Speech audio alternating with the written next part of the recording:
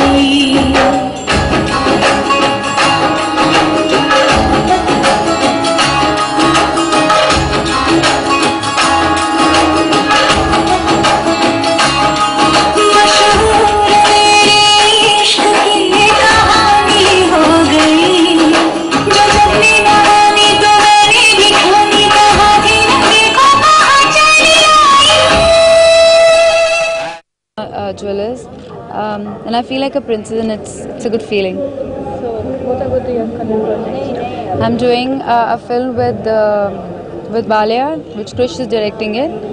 Then I'm doing a film with Shimbu, which uh, Adhik is directing in Tamil. And then I've done a Hindi film called Tadka, which uh, Prakash Raj is directed, and it has uh, Nana Patekar.